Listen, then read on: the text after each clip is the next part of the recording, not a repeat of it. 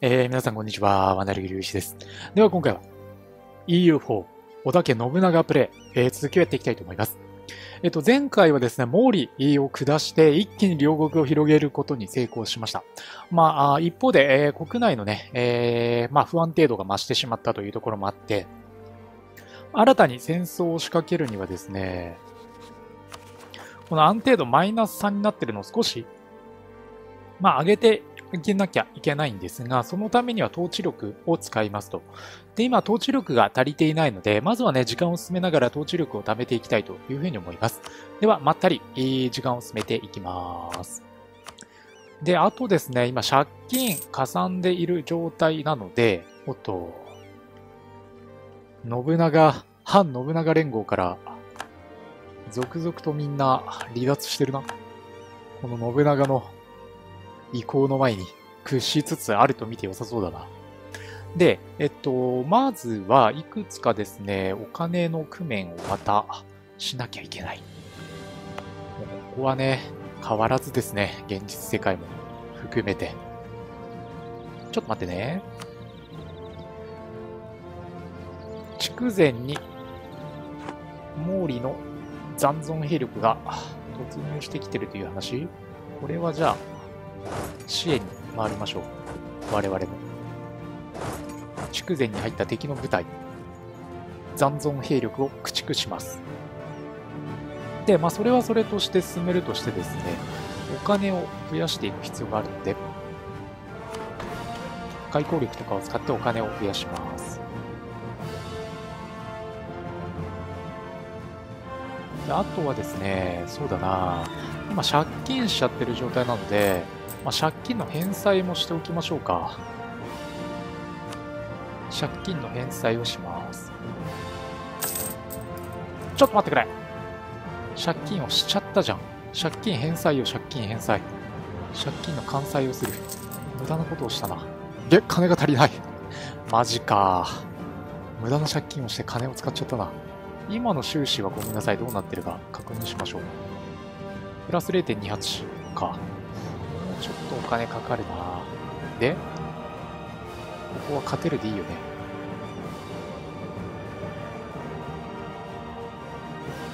九州が荒れてるからね。まあ、借金といえばね、もう僕も携帯もね、2年とか3年とかの分割払い、これも立派な借金といえば借金ですからね。あとはまあ一番大きいのが家のローン。これもね、借金の最たる例だと思うんですけど。借金してますからね。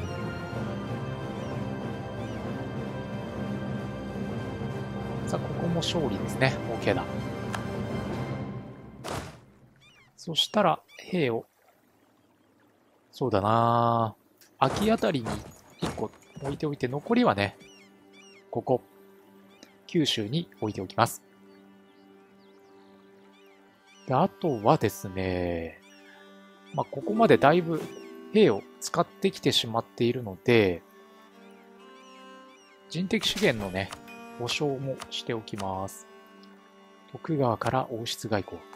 家康も一時冷たい感じだったけど、この信長の意向の前に、ひれ伏しつつあると言っていいだ。で、あとは、安東に対しては、ここのところずっと外交の改善を行っていたので、同盟が結べるね。関東を同盟として、この信長側に引き込みましょう。次の標的はそうなると武田だな。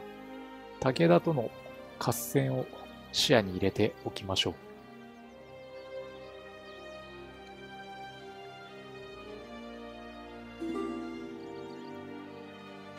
ちょっと待ってね。請求書の捏造という話が出てきている。えー、筑前は自分たちのものと主張するずうずうしさを持っている。なるほど。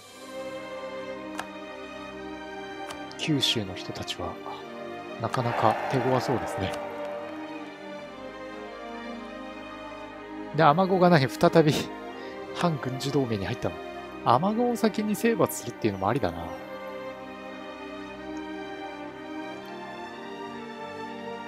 今、あの、借金の話しましたけど、あの、住宅ローン減税がね、年末になると、割とドカッと返ってくるんですよ。確か期間が10年だったと思うんですけど、なんで、その10年の間はね、住宅ローン減税の恩恵を受けて、10年経ったら、まとめてね、できるだけ多い金額を返していきたいなとは思ってるんですけど、住宅ローン減税を頼みにしてる時点でもうちょっとどうなんだというのはあるんですけどね。まあ、いつの世もお金だということに変わりはないんですけど、借金で言うと、まあ、スマートフォンの分割払いと、あとは、マンションですかね。カードで払うときは基本一括、基本っていうか一括払い以外はしたことないですね。リボ払いとかはしたことがないですけど。まあ、リボ払いもね、実質、あのー、利息がかからなかったりするものもあるようなんですけど、まあ、さ、さすがにね、その1ヶ月単位で使えるお金というのはある程度自分の中でわきまいてるつもりではあるので、そこまでね、無茶な感じにはなってないんですけどね。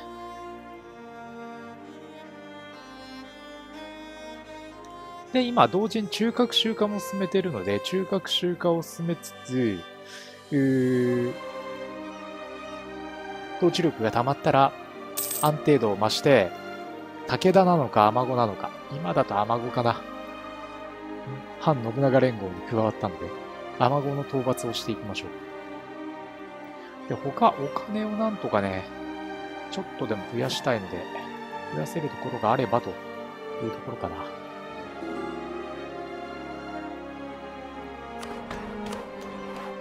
安東から王室外交、受け入れよう。今、外交官が一人余ってるな。となれば、芝。南部はもう取り込み済みですね。伊達はこの後潰しておきたいし、宇都宮、うん、あとは佐竹、千葉。北条も潰したい。え武田と北条、えー、それに雨子は潰しておきたいですね。で、借金も返したいしね。ではちょっと時間の進みを早めていきましょう。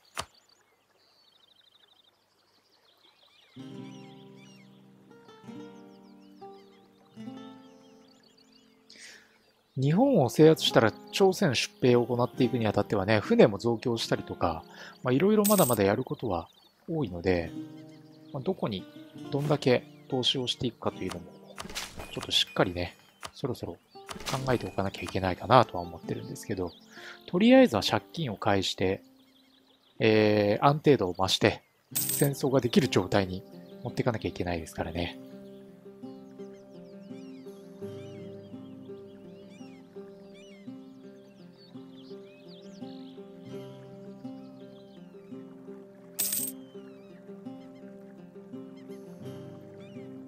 確か借金を返済するのに120円ぐらい必要だったよね。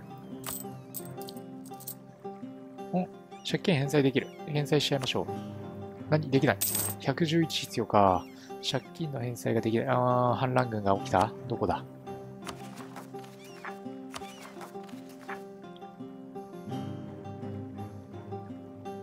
朝倉の分離主義者が邪魔くさいなまあ今、8000の信長の軍団がいるので、これを美濃に一応用意しておいて、朝倉が奮起したらその時点で即、潰しにかかりましょう。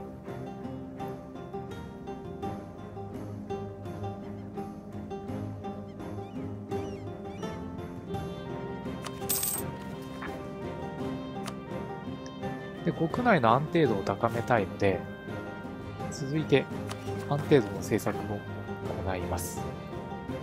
128必要だね。で、今、あのー、統治力124、130に増えましたね。これで、安定度を少し改善します。で、借金も返済したいので、中核集荷が終わって、借金も返済すれば、一旦健全化されるんじゃないかな。中核集荷。中学習か、中学、中学、中学。反乱が起きた。おー、どこ？だ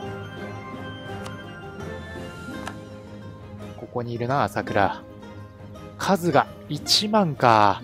ちょっと多いな。まあでもすぐに越前に出兵しましょう。で、資本家からの要求。特権要求か、資本家階級は高貴な一族の権力、特に政府の上位への機会の欠如に対し憤慨を強めていると。はあ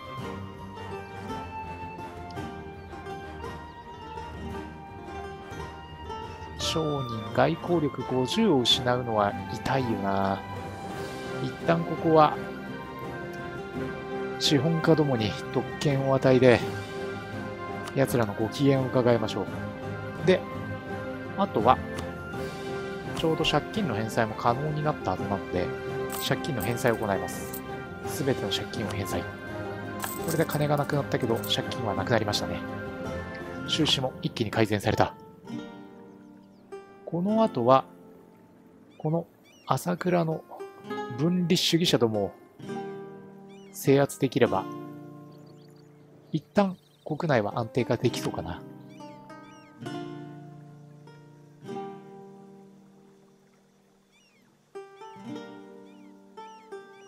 何？い、板倉が離れていってしまったのか。板倉さんが、板倉信孝が将軍として雇っていたのにな、不満があったのかな。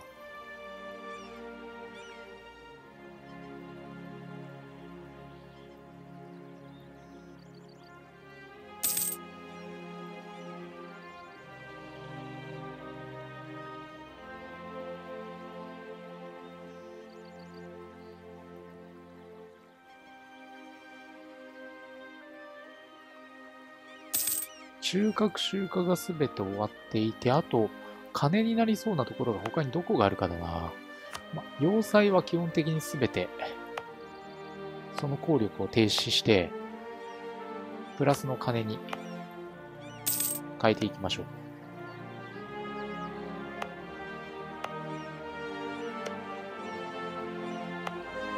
今、1円でも金が欲しいからね。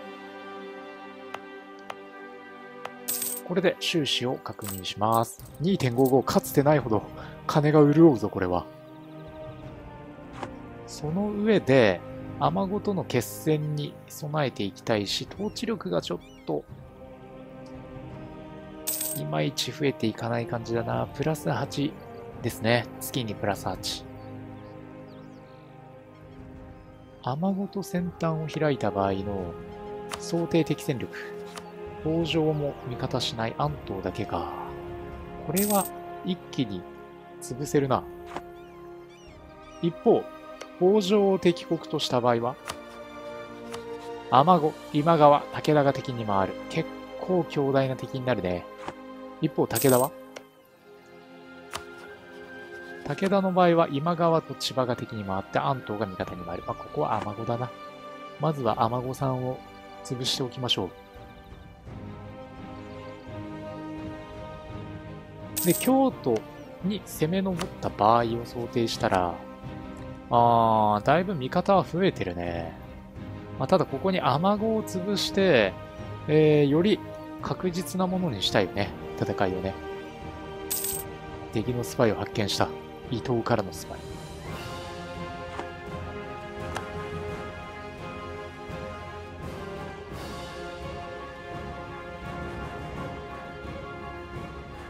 では上洛戦の準備という意味も込めて、雨子の攻略に入りましょうかね。出雲と備前。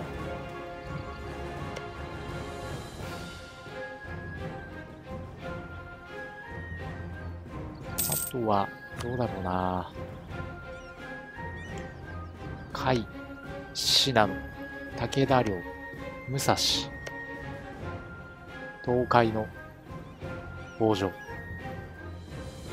天子、武田、北条。この3家を潰せば、えー、もう信長の国内統一は確実視されると思うので、一旦そこまで一気に戦局を動かしましょうか。では、開戦していきます。兵を、有馬まで。一方、秋にも兵は入ってるので、この状態でアマゴに対して先生の布告を行っていきます。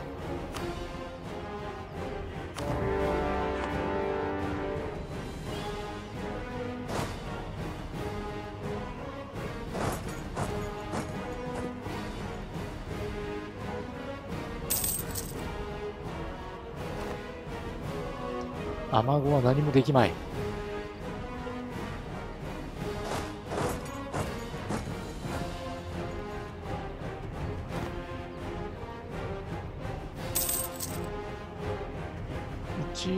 他に危ない場所がないかは確認しておきますが、ないよね。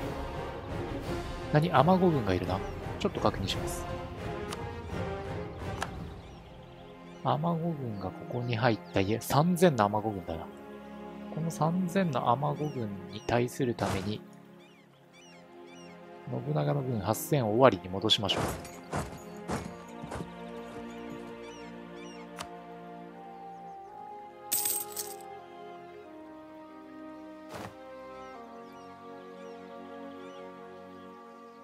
アマゴ軍がどっかに消えたな。どこに隠れた？アマゴ軍。アマゴ軍は、北陸へ逃亡したな。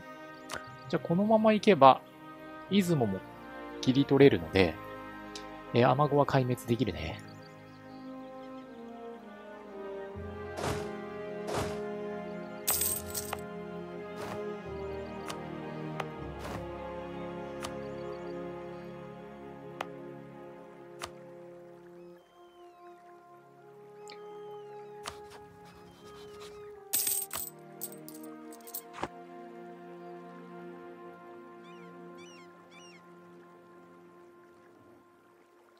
ちょっと時間かかってますが、えー、まあしっかりと出雲を切り取って雨具を滅ぼしましょう。で国内の安定化をまた多分下がっちゃってると思うので、戦争したことによって。これを上げておきます。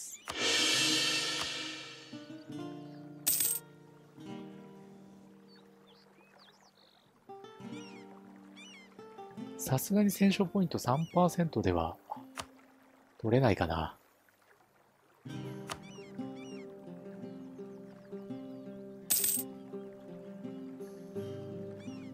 まあ、拒否するよね。そしたら九州に入ってる軍4000。これも一度出雲に入れて1万の大軍で一気に切り取りましょう。農民たちの不幸。いやー、安定度1を失う。ダカット24.24。状況の改善を試みよう。金で解決するしかない。今、安定度を失うと、戦争ができなくなるんでね。安定度がマイナス3になると、新しい戦布告ができなくなるので、ちょっとそういう状況を避けたいという思いもあるので、ここは金を犠牲にします。反乱軍がどこで放棄する？毛利の分離主義者か。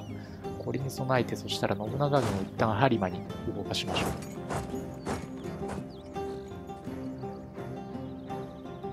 そう考えると、アマゴをちょっとでも早く下しておきたいですね。で一応、あの、また、あの、旅行というか全然違う話をすると、あのー、雪祭りにね、遊びに行きたいっていう女の子がタイにいまして、おお、そうかと。実は僕、北海道は行ったことがないんですよ。なんで、ちょっと行ってもいいかなと思ってるんですけど、雪祭り期間の札幌のホテル、爆投してますね。こんなにも値段上がるかというほどに金額が爆投してて、ちょっと躊躇してるんですけど、まあ、そういう機会でもなければ、まあ、おそらく今後、えー、雪祭りに行くこともなければ、むしろ北海道に行くことも多分ないんじゃないかなと思うので、今のところちょっと前向きに考えてます。できれば行きたいな。あとは休みですね。休みさえ取れれば、発生さんじたいなと思ってるんですけど。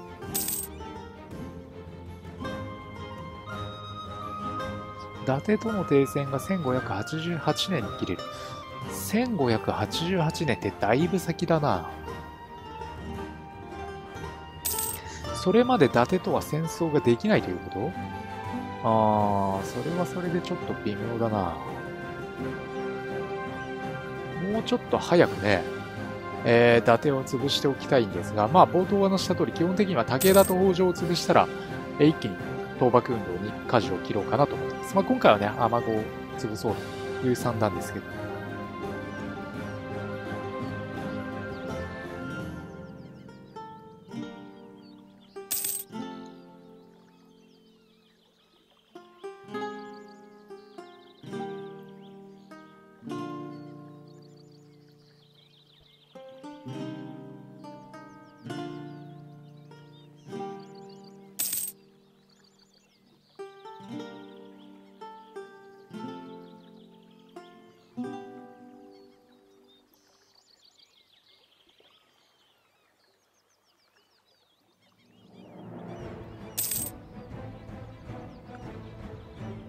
さて、どうする？ここで、請求権の捏造がまた来てるな。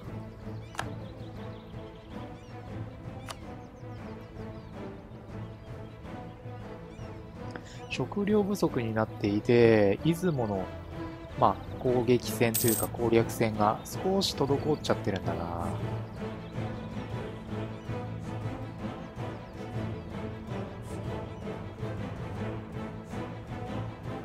れは割とすぐに決着がつくと思うんで、粘りましょう。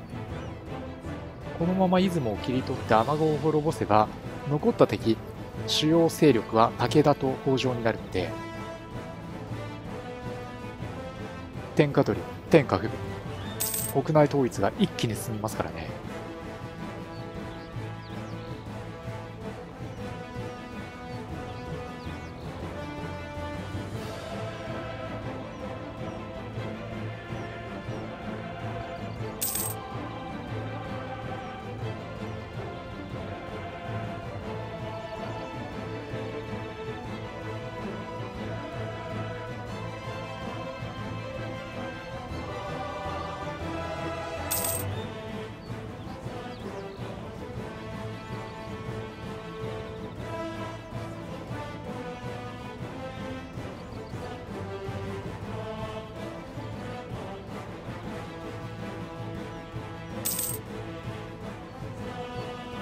では、ちょっと他の部分の見直しを並行しながらまったり待ちましょう。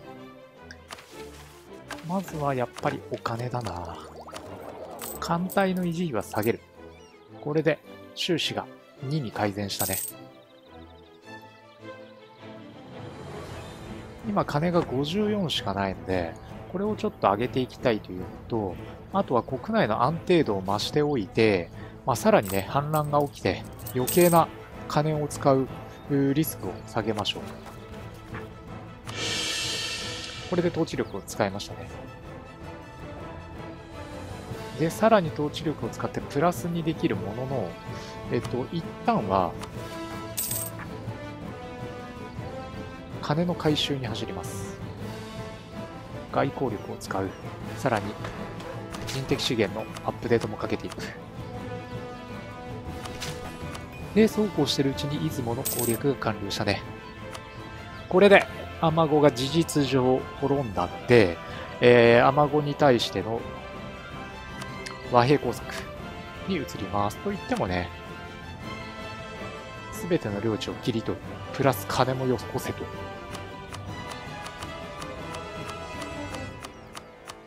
金はいくらむしり取れるんだ ?40 取れる。取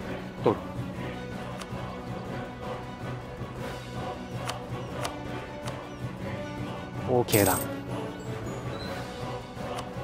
これによって、中国地方一帯は完全に信長の勢力圏内に入りましたね。で、あとは、お話してた通り、武田と、えー、北条ですね。ちなみに今、武田と開戦した場合、あー、北条とも戦争が効かないか。ちょっと待ってね。宣戦布告できない理由を確認しておきましょう。あ、外交官不足か。まあ、これはしょうがないね。外交官を引き上げれば済むので、外交官を引き上げます。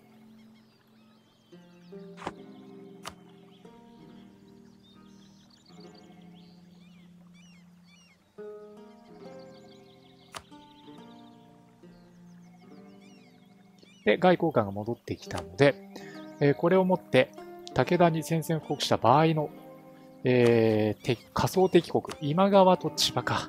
今川が敵に回るのは痛いな。安藤が、あ味方につくというのはありがたいけどね。じゃあ、北条の場合、確認します。北条ですね。北条の場合も今川と武田が敵に回る。これは一大決戦になるけど、いや、今川と武田両方敵に回すのはしんどいな。どうする？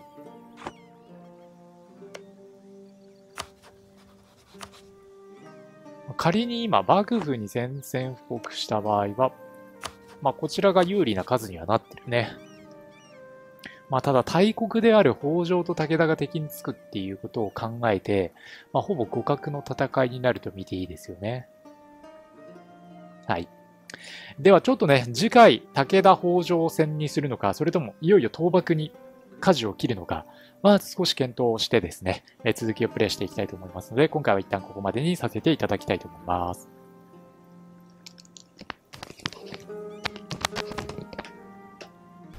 はい。えー、ご視聴ありがとうございました。この動画が面白いと思った方はチャンネルの登録をお願いいたします。動画の視聴画面の下の方からチャンネル登録することができますので、ぜひよろしくお願いいたします。